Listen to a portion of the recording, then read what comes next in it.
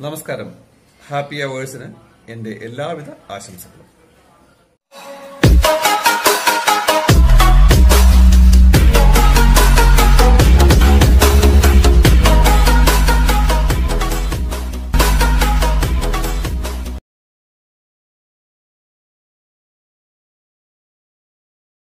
നമസ്കാരം. ഞാൻ എന്റെ പേര് ഷിജു ടി സി. ഞാൻ ഇവിടെ തോട്ടുമുക്കത്തിനടുത്ത് ചുണ്ടത്തുമ്പോയിൽ എന്ന് പറഞ്ഞ സ്ഥലത്താണ് താമസിക്കുന്നത്. കാരശ്ശേരി പഞ്ചായത്തിലെ അഞ്ചാം വാർഡിൽ. അപ്പം ഞാൻ ഇങ്ങനെ ഒരു വീഡിയോ ആയിട്ട് നിങ്ങളുടെ മുന്നിൽ വരാനുള്ള കാരണം എന്താണെന്ന് വെച്ച് കഴിഞ്ഞാൽ ഇപ്പോൾ കൊറോണയായിട്ട് ബന്ധപ്പെട്ട് നിൽക്കുന്ന അവസ്ഥയായതുകൊണ്ടാണ് ഞാൻ ഈ വീഡിയോ ആയിട്ട് നിങ്ങളുടെ മുന്നിൽ വരുന്നത്. എന്റെ അവസ്ഥ എന്ന് പറയുകയാണെങ്കിൽ ഞാൻ ഇവിടെ ചില്ലറ ചില്ലറ വർക്കുകളൊക്കെ എടുത്ത് നടന്നുകൊണ്ടിരുന്ന ഒരു വ്യക്തിയായിരുന്നു. അപ്പോൾ ഈ മാർച്ച് മാസത്തിൽ എനിക്ക് പണി കാര്യങ്ങളൊന്നും ഇല്ലാത്ത സമയത്ത് എനിക്ക് മംഗലാപുരത്ത് കുറച്ച് ദിവസത്തെ ഏകദേശം ഒരു പത്ത് പന്ത്രണ്ട് ദിവസത്തെ ഒരു പണി കിട്ടുകയുണ്ടായി. അപ്പോൾ ഞാൻ മാർച്ച് പതിനഞ്ചാം തീയതിയാണ് ഇവിടുന്ന് മംഗലാപുരത്തിന് പോകുന്നത്. പതിനഞ്ചാം തീയതി രാത്രിക്കത്തെ ട്രെയിനിന് ഞാൻ പോയി. പതിനാറാം തീയതി ഞാൻ അവിടെ എത്തി. അവിടെ പതിനേഴ് മുതൽ ഞാനവിടെ പണിക്ക് കയറി. ഞാൻ ചെന്ന് ഏകദേശം മൂന്നാൽ ദിവസങ്ങൾ കഴിഞ്ഞപ്പോൾ തന്നെ ലോക്ക്ഡൗൺ തുടങ്ങി. അപ്പോൾ എനിക്കത് വലിയൊരു വിഷയമായിട്ട് എനിക്ക് തോന്നിയില്ല. കാരണം എനിക്ക് അവിടെ പണിയുണ്ടായിരുന്നു. ഞാനവിടെ പണിയെടുത്ത് ജീവിച്ചു. ജീവിച്ചു കഴിഞ്ഞ് ഒരു പന്ത്രണ്ട് പതിമൂന്ന് ദിവസം കഴിഞ്ഞപ്പോൾ എന്റെ വർക്ക് കഴിഞ്ഞു. വർക്ക് കഴിഞ്ഞ് ശരിക്കും അത് കഴിഞ്ഞപ്പോൾ മുതലാണ് എനിക്ക് ഈ ലോക്ക്ഡൗണിന്റെ ബുദ്ധിമുട്ടുകൾ എന്താണ് എന്ന് എനിക്ക് മനസ്സിലാക്കാൻ കഴിഞ്ഞത്. അപ്പോൾ പറഞ്ഞു വരുന്നത് എന്താണെന്ന് വെച്ച് കഴിഞ്ഞാൽ എന്റെ അവിടുത്തെ വർക്ക് കഴിഞ്ഞ് കഴിഞ്ഞപ്പോൾ പിന്നീട് എനിക്കുണ്ടായ അനുഭവങ്ങൾ അത് അതാണ് നിങ്ങളോട് ഞാൻ പങ്കുവെക്കാൻ ആഗ്രഹിക്കുന്നത്. ഞാനവിടെ മംഗലാപുരത്ത് ഒരു ഒറ്റപ്പെട്ട ഒരു ഗ്രാമത്തിൽ പുറം ലോകമായിട്ട് അങ്ങനെ വലിയ ബന്ധങ്ങളൊന്നും ഇല്ലാത്തൊരു സ്ഥലത്ത്. ഏകദേശം നാൽപ്പത്തി എട്ട് ദിവസത്തോളം ഞാൻ ഒരു പണിയും കാര്യങ്ങളും ഇല്ലാതെ അവിടെ കുടുങ്ങി കിടക്കേണ്ട ഒരവസ്ഥ എനിക്കുണ്ടായി. എന്റെ വീട്ടിൽ അറുപത് വയസ്സിന് മുകളിലുള്ള എന്റെ ചാച്ചനും അമ്മയും അവരാണല്ലോ എനിക്ക് അവരുടെ അടുത്തേക്ക് എത്താൻ വളരെയധികം ആഗ്രഹമുണ്ടായിരുന്നു. ഞാൻ കുറേയേറെ ശ്രമിച്ചിട്ടും എനിക്ക് ഇങ്ങോട്ട് നാട്ടിലേക്ക് എന്റെ വീട്ടിലേക്ക് എത്തിപ്പെടാൻ എനിക്ക് കഴിഞ്ഞില്ല. അങ്ങനെ ഞാൻ വിഷമിച്ചിരിക്കുന്ന അവസ്ഥ അവസ്ഥയിലാണ് ഈ സർക്കാർ തീരുമാനമെടുക്കുന്ന അന്യ സംസ്ഥാനത്തുള്ള ആളുകൾക്ക് ഇങ്ങോട്ട് സ്വന്തം നാട്ടിലേക്ക് വരാൻ വേണ്ടി സർക്കാർ തീരുമാനമുണ്ടായി. അതിനനുസരിച്ച് ഞാൻ കേരളത്തിലേക്ക് വരാനുള്ള പാസ് എടുക്കണം. ഫസ്റ്റ് കിടക്കേണ്ട കടമ്പ അതായിരുന്നു. പാസ് എടുക്കാൻ വേണ്ടി ഞാൻ അത് ആ ലിങ്ക് പൂരിപ്പിച്ച് കൊടുക്കാൻ നേരത്ത് അതിനകത്ത് വന്ന ഓപ്ഷനുകൾ പല പല ഓപ്ഷനുകളും ഉണ്ടായിരുന്നു അതെല്ലാം പൂരിപ്പിച്ച് കഴിഞ്ഞപ്പോൾ അവസാനം വരുമ്പം നമ്മൾ അവിടെ നിന്ന് ഇങ്ങോട്ട് മംഗലാപുരം അതിർത്തിയിൽ നിന്ന് മഞ്ചേശ്വരം ബോർഡറിൽ നിന്ന് കേരളത്തിന്റെ അതിർത്തി ചെക്ക് പോസ്റ്റിൽ നിന്ന് ഇങ്ങോട്ട് പോരുമ്പോൾ പോരാനുള്ള വണ്ടിയുടെ നമ്പർ അടക്കം കൊടുത്തു കഴിഞ്ഞാൽ നമുക്ക് പാസ് അപ്രൂവ് ആയി കിട്ടുള്ളൂ. അങ്ങനെയുള്ള അവസരത്തിൽ എനിക്ക് സ്വന്തമായിട്ട് വണ്ടി വിളിച്ച് പോരാനുള്ള സാമ്പത്തികം എന്റെ അടുത്തില്ല. അതിലങ്ങനെ ഞാൻ വളരെയധികം ബുദ്ധിമുട്ടി. അങ്ങനെ ഇരിക്കുന്ന സമയത്ത് ഞാൻ പോസ്റ്റുകളും കാര്യങ്ങളൊക്കെ പല പല ആൾക്കാരുടെ പല വണ്ടികൾ പോരുന്നുണ്ട്. അവിടുന്ന് പോരുന്നുണ്ട് ഇവിടുന്ന് പോരുന്നുണ്ട് എന്നൊക്കെ ആളുകൾ ഇങ്ങനെ പറഞ്ഞു എനിക്ക് പല മെസ്സേജുകളും വന്നു. പക്ഷേ അതൊന്നും ഒരിക്കലും ശാശ്വതമായിരുന്നില്ല. ഇതൊക്കെ അന്വേഷിച്ച് അന്വേഷിച്ച് ചെന്ന് കഴിയുമ്പോഴത്തേക്കും അത് നല്ല രീതിയിലല്ല അവസാനിച്ചത്. പിന്നെ അവസാനം ഞാൻ K C Y M Thamarassery രൂപതയുടെ ഡയറക്ടർ അച്ഛൻ ഫാദർ മെൽവിൻ അദ്ദേഹത്തിന് ഞാനൊരു നല്ല താങ്ക്സ് പറയുന്നു. അച്ഛനുമായിട്ട് ഞാൻ ബന്ധപ്പെടുകയുണ്ടായി. അപ്പോൾ അച്ഛൻ എന്നോട് പറഞ്ഞ കാര്യം എന്താണെന്ന് വെച്ച് കഴിഞ്ഞാൽ നിന്നെ ഇപ്പോൾ കൂട്ടാൻ വേണ്ടി അവിടെ ഒരാൾ വന്ന് നിന്നെ കൂട്ടിക്കൊണ്ട് പോന്നു കഴിഞ്ഞാൽ ആ വരുന്ന വണ്ടിയുടെ ഡ്രൈവർ പതിനാല് ദിവസം ക്വാറന്റൈനിലിരിക്കണം അപ്പോൾ അങ്ങനെ ഒക്കെ തയ്യാറായിട്ടുള്ള ആളുകൾ ഉണ്ടെങ്കിൽ മാത്രമേ നമുക്ക് ഹെൽപ്പ് ചെയ്യാൻ കഴിയുള്ളൂ. അതിലങ്ങനെ അച്ഛൻ അങ്ങനെ പറഞ്ഞു. അതിനുശേഷം ഞാൻ വീണ്ടും വെയിറ്റ് ചെയ്തു. വെയിറ്റ് ചെയ്ത് കഴിഞ്ഞ് ഒരു മൂന്നാലഞ്ച് ദിവസം കഴിഞ്ഞപ്പോൾ വീണ്ടും ഞാൻ അച്ഛനെ വിളിച്ചു. അപ്പോൾ അച്ഛൻ എന്നോട് പറഞ്ഞു ഈ മാസം ഇരുപതാം തീയതി ഒരു വണ്ടി അതിൽ വരുന്നുണ്ട്. അപ്പം ഇവിടുന്ന് വാളയാർ ചെക്ക് പോസ്റ്റിലേക്ക് കുറച്ച് ആളുകളെ കൊണ്ടുപോയാക്കാനുണ്ട്. അപ്പോൾ അങ്ങോട്ട് വരുന്ന ആ വണ്ടി തിരിച്ചു വരുമ്പോൾ ആ വണ്ടി കാലിയാണ്. ആ വണ്ടിയിൽ നിനക്ക് പോരാ എന്ന് പറഞ്ഞു. പക്ഷേ അതിന് പ്രശ്നം ഇതാണ് പാസ് വേണം. അതിൽ ഞാൻ പിന്നെ ഈ പാസ് എടുക്കാനുള്ള നെട്ടോട്ടത്തിൽ ഓടി ഞാൻ കുറേ ഓടി നടന്നു. എനിക്ക് പാസ് റെഡിയായില്ല. അങ്ങനെ ഇരിക്കുന്ന സമയത്ത് ഞാൻ തോട്ടുമുഖത്തുള്ള എന്റെ സുഹൃത്ത് മൈസൂർ പറ്റിയുള്ള ഷാലുമോൻ എന്ന് പറഞ്ഞ വ്യക്തി അതേപോലെ തോട്ടുമുഖത്തുള്ള ജലീൽ എന്ന് പറഞ്ഞ വ്യക്തിയായിട്ട് ബന്ധപ്പെടുകയുണ്ടായി. അപ്പോൾ ഇവർ എന്നോട് പറഞ്ഞതനുസരിച്ച് ഞാൻ എന്റെ ഡീറ്റെയിൽസും കാര്യങ്ങളും എല്ലാം ഇവർക്ക് കൈമാറി. ഈ നമ്മുടെ മെലുവിൻ അച്ഛൻ പറഞ്ഞ വണ്ടിയുടെ നമ്പർ അടക്കം ഇവർക്ക് കൈമാറി. ഇവരെനിക്ക് ആ പാസ് റെഡിയാക്കി തരാൻ വേണ്ടി ഒത്തിരി ശ്രമിച്ചു. അതുപോലെ തന്നെ ഈ ശാലുമോന്റെയൊക്കെ സുഹൃത്തും കോൺഗ്രസ് പ്രവർത്തകനുമായ സുഫിയാൻ മുക്കം ഇവർ ഒക്കെ ഒരുപാട് ശ്രമിച്ചു. പക്ഷേ ആരൊക്കെ ശ്രമിച്ചിട്ടും എനിക്ക് ഇരുപതാം തീയതിക്ക് ഈ പാസ് റെഡിയായി എനിക്ക് കിട്ടിയില്ല. എനിക്ക് പാസ് റെഡിയായി കിട്ടുന്നത് ഇരുപത്തി രണ്ടാം തീയതിയിലാണ്. അപ്പോൾ സ്വാഭാവികമായിട്ടും ആ വണ്ടി നിലവിൽ വന്നു പോയി. അത് കഴിഞ്ഞപ്പോഴാണ് എനിക്ക് പാസ് റെഡിയായി കിട്ടുന്നത്. അത് കഴിഞ്ഞ് ഞാൻ ഈ പാസ് എനിക്ക് ഇരുപത്തിരണ്ടാം തീയതി പാസ് കിട്ടി. പാസ് കിട്ടി കഴിഞ്ഞപ്പോൾ ഞാൻ രണ്ടും കൽപ്പിച്ച് ഞാൻ അവിടെ നിന്ന് ഇറങ്ങുകയുണ്ടായി. അവിടെ നിന്ന് ഇങ്ങോട്ട് പോരുകയാണ്. പോരാനുള്ള കാരണം എന്താ വെച്ച് കഴിഞ്ഞാൽ നാൽപ്പത്തിയെട്ട് ദിവസം നിങ്ങളോട് നേരത്തെ മുൻപ് ഞാൻ പറഞ്ഞു നാൽപ്പത്തിയെട്ട് ദിവസം ഞാൻ ഒരു പണിയില്ലാതെ അവിടെ ഇരുന്ന ആളാണ്. അപ്പോൾ എന്റെ അവസ്ഥയും കാര്യങ്ങളൊക്കെ നിങ്ങൾ മനസ്സിലാക്കണം. വീട്ടിലാണെങ്കിൽ ഇങ്ങനത്തെ അവസ്ഥ. അവിടെ പണിയില്ല. എല്ലാം കൊണ്ടും കുടുങ്ങി നിൽക്കുന്ന ഒരവസ്ഥ. അങ്ങനെയുള്ള അവസരത്തിൽ ഞാൻ അവിടെ നിന്ന് രണ്ടും കൽപ്പിച്ച് ഞാൻ അവിടെ നിന്ന് രാവിലെ അവിടെ നിന്ന് ഇറങ്ങുകയുണ്ടായി. അവിടെ നിന്ന് ഒരു ഓട്ടോറിക്ഷ വിളിച്ച് നേരെ മംഗലാപുരത്ത് വന്നു. അപ്പോൾ എന്റെ വിശ്വാസം എന്താണെന്ന് വെച്ച് കഴിഞ്ഞാൽ ഈ ബസ്സുകൾ ഓടാനൊക്കെ തുടങ്ങി എന്ന് പറഞ്ഞ ന്യൂസുകളും കാര്യങ്ങളൊക്കെയാണ് വാട്സപ്പിൽ കൂടെ അറിഞ്ഞിരുന്നു. അപ്പോൾ അത് പ്രകാരം ഏതെങ്കിലും ഒരു ബസ്സിൽ കയറി വരാം എന്ന് കണക്ക് കൂട്ടിയിട്ടാണ് ഞാൻ അവിടുന്ന് പുറപ്പെടുന്നത്. അവിടുന്ന് പുറപ്പെട്ടു ഒരു നല്ലവനായ ഒരു ഓട്ടോ ഡ്രൈവർ എന്നെ അവിടെ ചെക്ക് പോസ്റ്റിൽ കൊണ്ടാക്കി. ഇപ്പുറത്തെ ചെക്ക് പോസ്റ്റിലേക്ക് അയാൾ എന്നെ കൊണ്ടാക്കാൻ തുടങ്ങി സമയത്ത് അവിടുന്ന് ചെക്ക് പോസ്റ്റിലുള്ള പോലീസുകാർ പറഞ്ഞു നിങ്ങൾക്ക് അങ്ങോട്ട് പോകാൻ കഴിയില്ല. അപ്പുറത്തേക്ക് കടന്നു കഴിഞ്ഞാൽ തിരിച്ചു പോരണമെങ്കിൽ നിങ്ങൾക്ക് അതിന്റെ പാസ് വേണം. അതുകൊണ്ട് നിങ്ങൾ അപ്പുറത്തേക്ക് പോകാൻ പാടില്ല.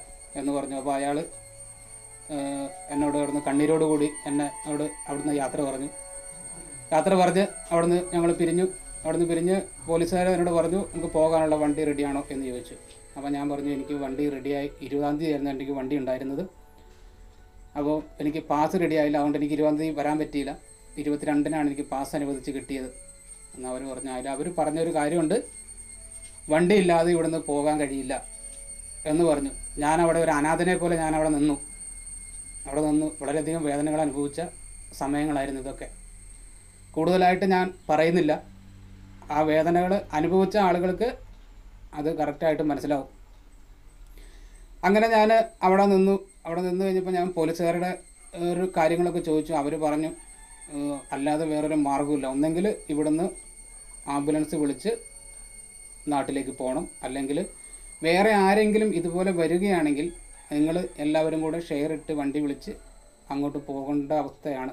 അങ്ങനെ സാറുമാർ എന്നോട് പറഞ്ഞു ഞാൻ രാവിലെ അവിടെ എത്തി ഞാൻ ഇറങ്ങിയ സ്ഥലത്ത് നിന്ന് ഒരു ഗ്ലാസ് ചായ മാത്രം കുടിച്ചിട്ട് പോയതാണ്. അവിടെ നിന്ന് ഒരു കുടിവെള്ളം പോലും അവിടെ കിട്ടാനില്ല. ഞാനങ്ങനെ കുറേ സമയം ഇരുന്നിട്ടും ആരും വരുന്നില്ല. എല്ലാവരും വണ്ടിയൊക്കെ ബുക്ക് ചെയ്തിട്ടാണ് വരുന്ന ആളുകളാണ് ഉള്ളത്. അതിലങ്ങനെ ഞാൻ അവസാനം എനിക്ക് വിശപ്പ് സഹിക്കാനും കുടിവെള്ളം പോലും കിട്ടാൻ അവസാനം ഒരു ടൂറിസ്റ്റ് വണ്ടി വന്നു കഴിഞ്ഞപ്പോൾ അവരുടെ അടുത്ത് നിന്ന് വെള്ളം മേടിച്ച് കുടിച്ചിട്ടാണ് ഞാൻ എന്റെ പരവേശം അകറ്റിയത്. അവരോടും ഞാൻ എന്റെ കടപ്പാട് അറിയിക്കുന്നു. എനിക്ക് ആ കുടിവെള്ളം തന്ന അവരോട്. അത് കഴിഞ്ഞ് പിന്നെ ഞാൻ വീണ്ടും നമ്മുടെ തോട്ടുമുക്കത്തുള്ള ശാലുമോനും ഒക്കെ ആയിട്ട് ബന്ധപ്പെട്ട് കഴിഞ്ഞപ്പോൾ ഇവരെല്ലാവരും കൂടെ അവസാനം എനിക്കൊരു സൊല്യൂഷൻ ഉണ്ടാക്കുന്നത് കുറേ അവർ ശ്രമിച്ചു നോക്കി.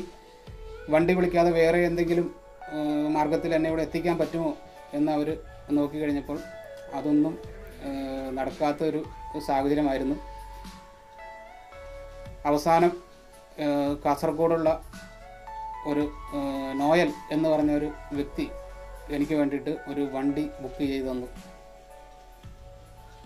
ആ വണ്ടി ഒരു കാറായിരുന്നു. ആ കാറിൽ ആണ് ഞാൻ അവിടുന്ന് ഇങ്ങോട്ട് പോരുന്നത്. ഞാൻ ഇങ്ങോട്ട് പോകുന്ന സമയത്ത് അവിടുന്ന് ആദ്യത്തെ ചെക്ക് പോസ്റ്റിൽ തന്നെ അവിടുന്ന് ചെക്കിംഗ് എല്ലാം കഴിഞ്ഞ് കഴിഞ്ഞപ്പോൾ ഇവർ എനിക്കും ഡ്രൈവർക്കും ഒരു പാക്കറ്റ് ഫ്രൂട്ട്സ് ഫ്രൂട്ട് സലാഡ് നമുക്ക് തന്നു. അതായിരുന്നു എന്റെ അന്നത്തെ ഭക്ഷണം. അതും കുറച്ച് പച്ചവെള്ളവും. അത് തന്ന പോലീസുകാർക്ക് എന്റെ നിറഞ്ഞ ഒരു നമസ്കാരം. അത് കഴിച്ചു കഴിഞ്ഞപ്പോൾ മനുഷ്യ ശരീരത്തിന് ഒരു ഉണർവൊക്കെ വന്നു. അങ്ങനെ ഞാൻ അവിടെ നിന്ന് പോന്നു. വഴിക്ക് നിന്ന് ഡ്രൈവർക്ക് ഡ്രൈവർ പറഞ്ഞു ഇനി മുന്നോട്ട് പോയി കഴിഞ്ഞാൽ നമുക്ക് ഭക്ഷണം കിട്ടാൻ ഒരു സാധ്യതയുമില്ല. നമുക്ക് എന്തെങ്കിലും എവിടെ നിന്നെങ്കിലും പാഴ്സൽ കിട്ടുകയാണോ മേടിക്കണം. അങ്ങനെ പറഞ്ഞ് ഡ്രൈവർ തന്നെ ഒരു സ്ഥലത്ത് വണ്ടി നിർത്തി നമ്മൾ പാഴ്സൽ ഭക്ഷണം പാഴ്സൽ മേടിച്ച് പോരുകയും വഴിക്ക് നിന്ന് കഴിച്ച് വീട്ടിൽ ഏകദേശം ഒരു പന്ത്രണ്ട് മണിയോടുകൂടി വീട്ടിൽ എത്തിച്ചേരുകയും ചെയ്തു. അപ്പോൾ ഞാൻ പോരുന്ന സമയത്ത് ഞാൻ പഞ്ചായത്തിൽ നമ്മുടെ മെമ്പർ പിന്നെ ഹെൽത്ത് ഇൻസ്പെക്ടർ എല്ലാവരെയും വിളിച്ച് അറിയിച്ചിരുന്നു. അപ്പോൾ അവർ പറഞ്ഞ രീതി എന്താ വെച്ച് കഴിഞ്ഞാൽ ഒന്നെങ്കിൽ സർക്കാർ വക ക്വാറന്റൈനിൽ പതിനഞ്ച് പതിനാല് ദിവസം ഇരിക്കണം. അല്ലെങ്കിൽ വീട്ടിൽ സൗകര്യമുണ്ടെങ്കിൽ വീട്ടിൽ ക്വാറന്റൈനിൽ ഇരിക്കാം. പക്ഷേ എന്റെ വീട്ടിൽ അതിനുള്ള സൗകര്യമില്ലായിരുന്നു. അറുപത് വയസ്സ് കഴിഞ്ഞുള്ള അപ്പനും അമ്മയും ഉള്ളത് കൊണ്ടും കോമൺ ബാത്റൂം മാത്രമേ ഉള്ളൂ.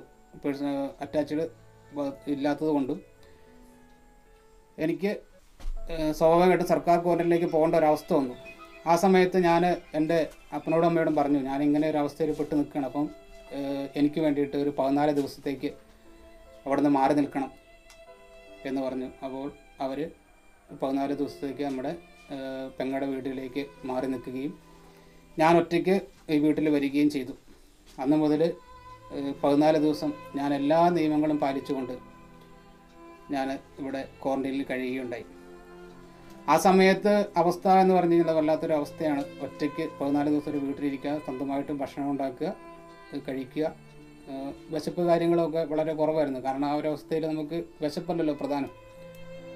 ആ സമയത്ത് എനിക്ക് ആവശ്യമുള്ള സാധനങ്ങളൊക്കെ എത്തിച്ച് എത്തിച്ചു തന്ന എന്റെ ഫ്രണ്ട്സ് അവർക്കും നല്ലൊരു നമസ്കാരം. എല്ലാവർക്കും ഒത്തിരി താങ്ക്സ് പറയുന്നു.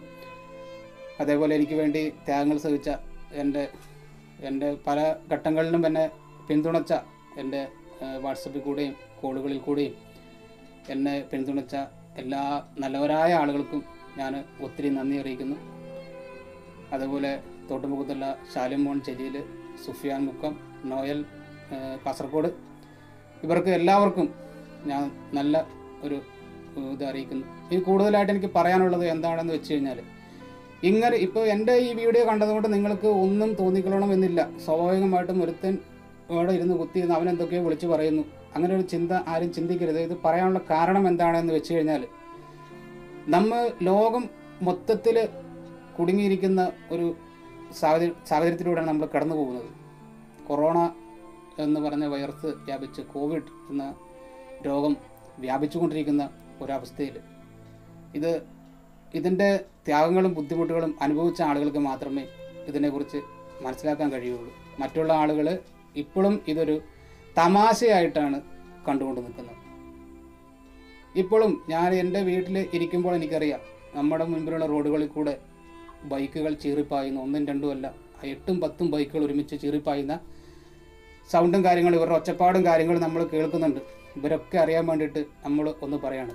പ്രിയ സുഹൃത്തുക്കളെ നമുക്കിവിടെ നമ്മുടെ നാടിന് വേണ്ടി നമ്മുടെ നാടിന് വേണ്ടി ഒത്തിരി ആളുകൾ പ്രവാസികളായാലും എല്ലാ എല്ലാവരും കഷ്ടപ്പെടുകയാണ്. വരുന്ന പ്രവാസികളും ഒക്കെ എന്ന് പറഞ്ഞു കഴിഞ്ഞാൽ അവരും ഇതേപോലെ ത്യാഗങ്ങൾ സഹിച്ചിട്ടാണ്. അവിടുന്ന് എങ്ങനെയെങ്കിലും നാട്ടിലേക്കൊന്ന് എത്തിയാൽ മതി എന്ന് വിചാരിച്ചിരിക്കുന്നു. എന്നിട്ടും അവിടുന്ന് പോരാൻ കഴിയാത്ത ഒത്തിരി ആളുകളുണ്ട്. അവർക്ക് ഒക്കെ എന്റെ പ്രാർത്ഥന ഞാൻ അറിയിക്കുന്നു. അവർക്ക് എത്രയും പെട്ടെന്ന് നാട്ടിലേക്ക് എത്താൻ കഴിയട്ടെ എന്ന് ആശംസിക്കുന്നു. കൂടുതലായിട്ട് ഞാൻ പറയുന്നില്ല. എനിക്ക് ഒന്നേ പറയാനുള്ളൂ. നമ്മൾ നമ്മുടെ സർക്കാർ നിർദ്ദേ- നിർദ്ദേശിച്ചിരിക്കുന്ന സുരക്ഷാ മാനദണ്ഡങ്ങൾ പാലിച്ചുകൊണ്ട് നമുക്ക് അത്യാവശ്യ കാര്യങ്ങൾ വരികയാണ് എങ്കിൽ മാത്രം നമ്മൾ പുറത്തേക്ക് ഇറങ്ങുക. ഇവർ പറയുന്ന അത് സുരക്ഷാ മാനദണ്ഡങ്ങൾ പാലിക്കുക. പിന്നെ പുറത്ത് പോയിട്ട് തിരിച്ച് വന്നു കഴിയുമ്പോൾ അവർ പറയുന്ന സുരക്ഷാ മാനദണ്ഡങ്ങൾ നമ്മൾ കൈകാര്യം ചെയ്യുക. ഇത്രയൊക്കെയാണ് എനിക്ക് പറയാനുള്ളത്. എന്റെ ഈ ഒരു മൂന്ന് മാസം കൊണ്ട് ഞാൻ ഒത്തിരി അനുഭവങ്ങൾ അനുഭവങ്ങളിലൂടെ കടന്നു പോകുന്നു ഇനിയും ഇങ്ങനെയൊരു സാഹചര്യം ആർക്കും ഉണ്ടാകരുതേ എന്ന് ആശംസിച്ചുകൊണ്ട് എല്ലാവർക്കും എല്ലാവർക്കും ഒരിക്കൽ കൂടി നന്ദി പറഞ്ഞുകൊണ്ട് ഞാൻ ഈ വീഡിയോ നിർത്തുന്ന നിർത്തുകയാണ്. നന്ദി നമസ്കാരം.